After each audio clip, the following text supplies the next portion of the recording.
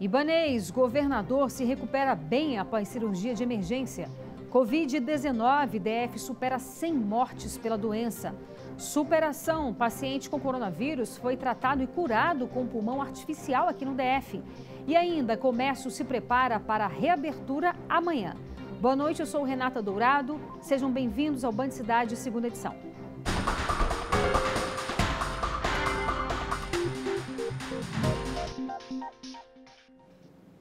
E hoje a gente começa o Band Cidade, segunda edição, com uma história de superação. Depois de 49 dias internado e de 23 dias em uma UTI por conta da Covid-19, um homem de 43 anos está curado. Ele foi o primeiro paciente aqui do DF a fazer o uso de um pulmão artificial. Música, balões, cartazes e muita emoção. O clima era de festa quando Eduardo recebeu alta depois de 49 dias internado em um hospital particular de Taguatinga. Com 43 anos e hipertenso, ele começou a notar os sintomas da Covid-19 no início de abril. Quando eu descobri que eu estava com Covid, é, foi uma sensação assim muito complicada, é, porque todos acham que essa doença é só é, ficar em isolamento e tudo, mas não é. Foram mais de 20 dias na unidade de terapia intensiva por fazer parte do grupo de risco, o Eduardo teve muitas complicações. Eu tive que eu tive complicações no meu, no, no, no meu pulmão, onde meu pulmão parou praticamente de parar.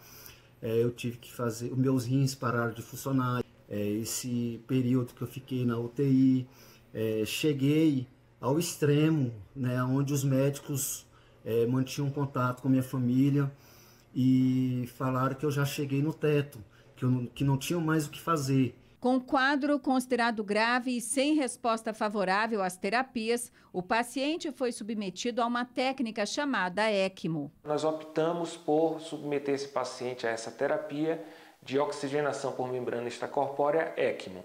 Foi o primeiro paciente do Distrito Federal. Hoje no Brasil, nós já temos relatos de cerca de 20 pacientes que foram submetidos a essa terapia.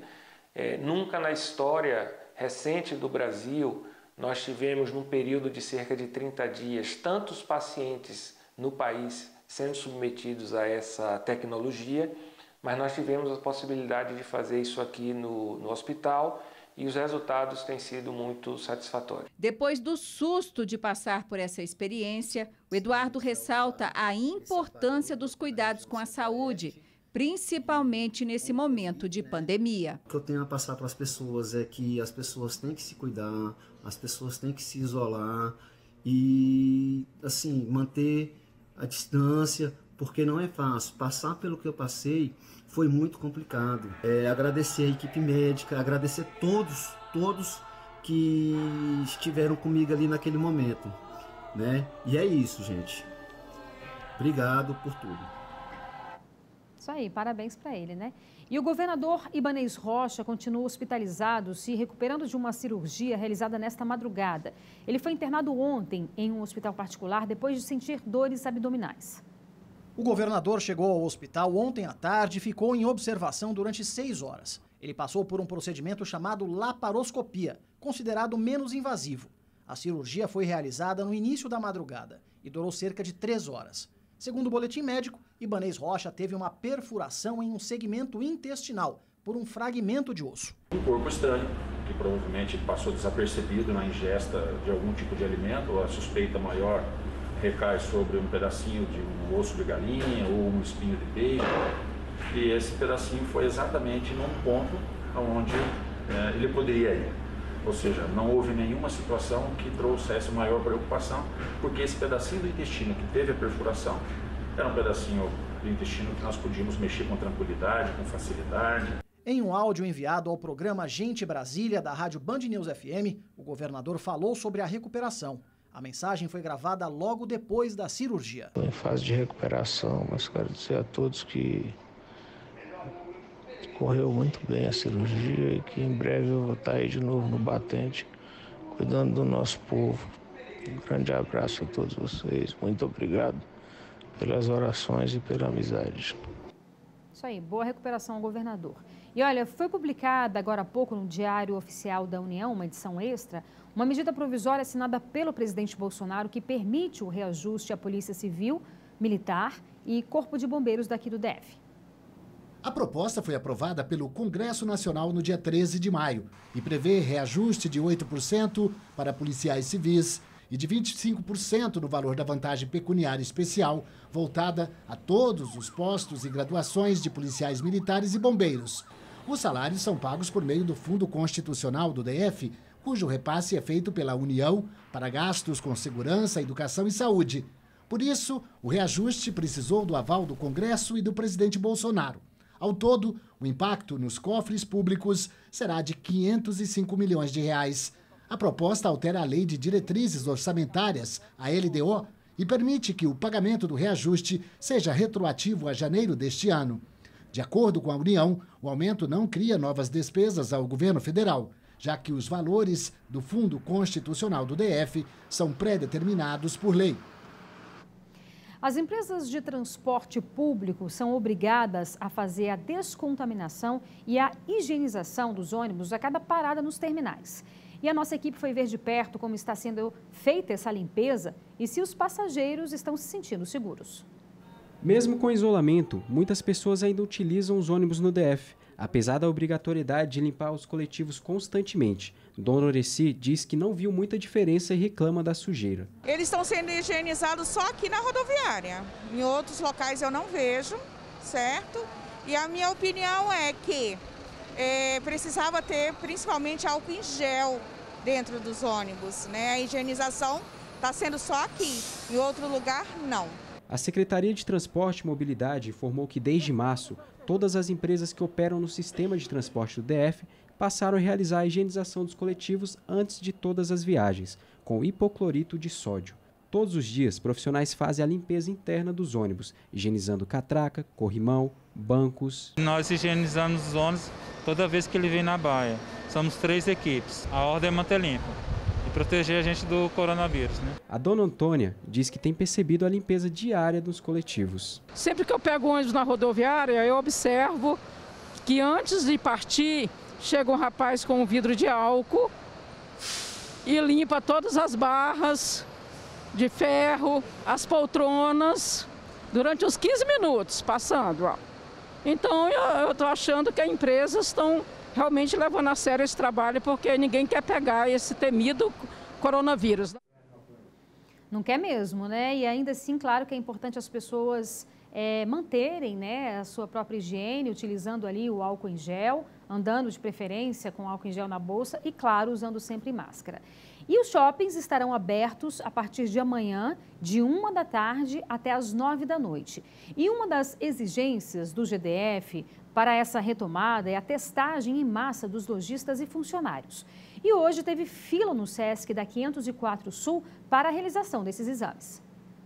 Um dia marcado por filas a perder de vista. Isso tudo começou porque a FEComércio anunciou uma parceria com o GDF para oferecer de forma gratuita testes rápidos de Covid-19 nos funcionários do comércio. Para fazer o teste, é necessário que a pessoa leve a credencial de comerciário do SESC ou a carteira de trabalho. A testagem em funcionários é apenas uma das condições para a reabertura de outros setores da cadeia produtiva. A obrigatoriedade do uso de máscaras, álcool em gel e medição de temperatura são outros critérios que continuam valendo para a reabertura nesta semana. A reabertura do comércio requer muita responsabilidade. É importante que todos os empresários sigam rigorosamente todas as normas sanitárias que estão no decreto do governador Ibanez, editado no último sábado. No fim de semana, o governo editou mais um decreto, atualizando a lista e os horários das lojas que vão poder abrir. Hoje, setores do comércio em geral reabrem as portas, com horários específicos. Amanhã é a vez dos shoppings. Por enquanto, ficam fora dessa rodada de reabertura restaurantes, bares, academias, cinemas e as igrejas. É isso, e em nota, a FEComércio informou que abriu mais três postos de atendimento dentro do SESC e que vai aumentar o número de exames nas próximas etapas. E agora vamos ver como fica o tempo amanhã. A previsão é da Somar Meteorologia. Olá, Renata. Muito boa noite. Boa noite também a todos que nos acompanham. Por enquanto, o tempo segue firme na região central do Brasil e também mais frio, especialmente durante as noites e madrugadas, por causa da presença de uma massa de ar de origem polar. Amanhã, a quarta-feira, vai ser de tempo aberto em Brasília. Vai amanhecer com 13 graus e à tarde a máxima fica em torno dos 26 graus. Isso aí, olha, a pandemia do coronavírus tem afetado o mundo e nem mesmo as cerimônias de casamento foram poupadas. Teve noiva que decidiu adiar a festa, mas também teve casal que deu um jeitinho de celebrar o amor na data marcada, mesmo em tempos de quarentena. A Caroline foi pedida em casamento no início de 2019. Desde o noivado, foram 12 meses de muito planejamento. Quando chegou em outubro de 2019, eu já estava com tudo fechado. Todos os fornecedores já, já com contrato assinado tudo para o casamento acontecer no dia 11 de abril. Estava tudo pronto para o grande dia. Convites, lembrancinhas, teve até despedida de solteira com as amigas na praia. Mas faltando apenas um mês para o casamento, a festa precisou ser adiada. Quando a gente realmente teve que adiar, que a gente viu que não ia ter como mesmo, ia, não ia ter como os nossos parentes de fora virem até Brasília, e a gente decidiu adiar o casamento, também teve questão de fornecedor, porque eu já estava com todos os fornecedores fechados, assim. Um mês antes do casamento, tá tudo pronto. Para não passar em branco, os noivos decidiram manter o casamento religioso. A cerimônia contou com a presença apenas do padre, dos pais da Caroline e de duas testemunhas. Os pais do noivo, que não moram em Brasília, acompanharam tudo por videochamada. Foi completamente diferente do que tudo que a gente estava imaginando, né? Assim, a gente imaginou que o nosso casamento ia estar tá cheio de gente assistindo, todos os nossos amigos, todos os nossos familiares. E foi na igreja, na capelinha, a gente e os bancos atrás, todos vazios. E mesmo sem marcha nupcial, igreja cheia e o tradicional momento em que a noiva joga o buquê, as fotos do casamento não escondem a emoção que a Caroline e o noivo viveram, mesmo em tempos difíceis de pandemia. No final das contas, eu achei que a cerimônia acabou sendo muito mais emocionante e a gente conseguiu participar e vivenciar muito mais aquilo. E para quem pretende fazer diferente da Caroline, adiar ou mesmo cancelar a hora do sim, esta especialista em direito do consumidor explica o que pode ser feito para evitar prejuízos. Fora da pandemia, é, o casal poderia cancelar, mas eles pagariam a multa contratual. No momento atual, não há falar de multa, não há falar de ônus. Ele, é, não havendo a prestação do serviço e a pessoa não querendo adiar, remarcar, reagendar, ela tem direito a ter de volta o valor que ela gastou. Isso aí. E olha, o governo de Goiás anunciou que o primeiro hospital de campanha para atender os pacientes com coronavírus do entorno começa a funcionar na próxima semana. O Hospital de Campanha de Águas Lindas de Goiás vai começar a receber os primeiros pacientes a partir da próxima segunda-feira. A conclusão das obras foi divulgada durante uma visita técnica realizada na tarde passada.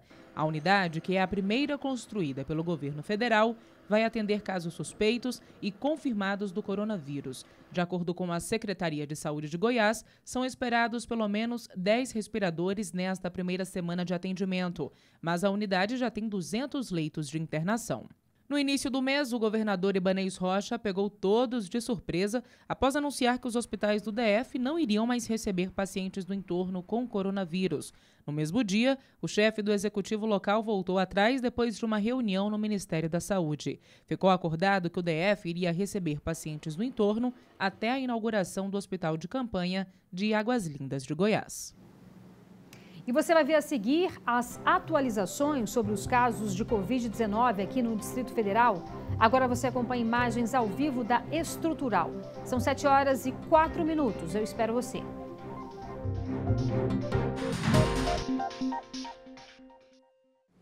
Após polêmica, distritais votam um projeto que estrutura o pagamento de planos de saúde para parlamentares e servidores.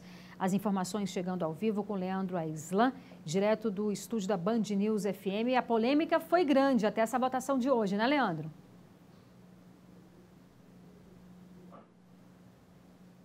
Olha, a Câmara Legislativa, Renata, voltou atrás e decidiu retirar ex-deputados e ex-funcionários dos distritais, né, com os beneficiados do plano de saúde da casa chamado Fascal. Dessa maneira, a partir de agora, apenas os servidores e concursados vão permanecer no plano. Deputados comissionados, ex-comissionados inativos, dependentes vão ter um plano privatizado, viu? Em uma sessão tensa, com várias trocas de farpas entre os presentes na sessão virtual, 20 parlamentares votaram então pela derrubada das emendas que ampliavam este benefício. Inicialmente, a oposição tentou, inclusive, anular completamente né, essa votação original, que foi impedido pela mesa diretora. Alguns parlamentares alegaram também que faltou clareza aí na apresentação do projeto, que foi negado aí pelo deputado Rodrigo Delmasso, que foi um dos autores aí dessa proposta, inclusive encaminhou uma nota pedindo desculpas aí pelo mal entendido. Ele afirmou que todos os parlamentares sim foram avisados sobre como funcionaria a proposta. Bom, segundo dados da Câmara Legislativa, com a privatização será possível uma economia entre 12 e 15 milhões de reais aos cofres públicos anualmente, enquanto o déficit com o Fascal gira em torno de 20 milhões de reais. Renata. Ok, Leandro, muito obrigada. Boa noite para você e bom trabalho. E agora a Marcela Cardoso tem um recado para você. Você possui atraso na parcela do seu carro? Cartão de crédito. Não espere essa quarentena passar. Não espere esse isolamento passar. Procure hoje mesmo a Economy 37720929 www.reduzirparcela.com.br. E quem está aqui hoje para garantir o seu atendimento é o Dr. Tiago, que tem um recado para você.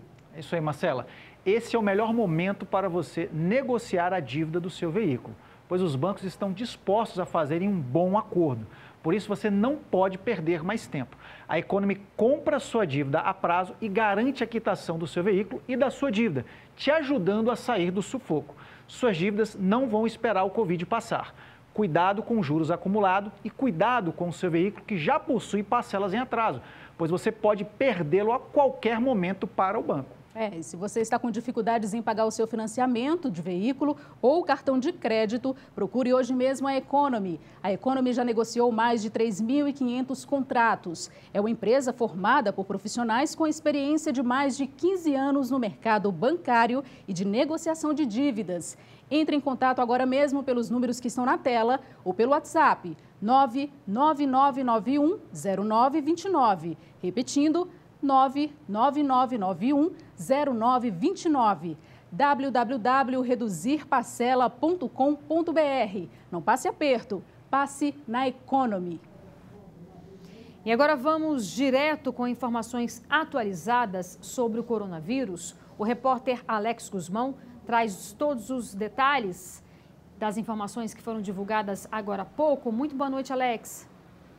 Boa noite, Renata. De acordo com o boletim divulgado no início desta noite pela Secretaria de Saúde do Distrito Federal, os números com relação ao crescimento de mortos aqui no DF por coronavírus, os números são semelhantes aos divulgados na segunda-feira. Em 24 horas, foram 10 novos óbitos, sendo oito residentes no Distrito Federal e duas pessoas moradoras da região do entorno. Com isso, o total de mortos no DF desde o início da, pandem da pandemia passou a 124, sendo 114 pessoas moradoras do Distrito Federal e 10 pessoas residentes nas cidades que ficam no entorno da capital do país. E os locais aqui no Distrito Federal com maior incidência de casos de mortes por coronavírus são Ceilândia, com 25 óbitos, Samambaia, 18 e o Guará, com nove mortos pela Covid-19. Passando aos números gerais de casos confirmados da doença aqui no Distrito Federal. Em 24 horas, 280 novos casos, crescimento de 4% em 24 horas. Com isso, o total de infectados no DF pela Covid-19 bateu a marca de 7.210. E as regiões com maior incidência do coronavírus aqui no DF são Plano Piloto 722, Sistema Penitenciário, que até a semana passada estava em primeiro lugar, tem 674 casos, Ceilândia 610, Samambaia 457 casos de coronavírus e, por fim, aí, uh, Taguatinga com 444 casos, ou seja, a situação é preocupante e exige cada vez mais da população consciência. Consciência para, se possível, ficar em casa e, se precisar sair, o uso de máscara e também distanciamento das pessoas. Voltamos com você, Renata. É isso aí, Alex. Muito obrigada. Boa noite. E olha, veja seguir os cuidados com os escorpiões. Agora você acompanha imagens ao vivo da Ponte JK, são 7 horas e 13 minutos. Eu espero você.